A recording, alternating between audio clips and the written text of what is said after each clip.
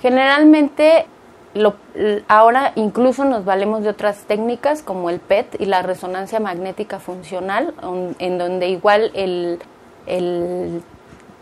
protocolo es hacerle una resonancia funcional antes de la cirugía, una evaluación neuropsicológica antes de la cirugía y después volverlo a hacer después del procedimiento quirúrgico y luego después de la rehabilitación al mes, a los dos meses, a los tres meses les hacemos resonancia magnética funcional para ver cómo ha cambiado la activación metabólica de su cerebro y asimismo aplicar diferentes tests, diferentes evaluaciones para ver cómo va mejorando sus procesos. Esto puede ser en niños, en adultos, en ancianos, en, todo tipo de población.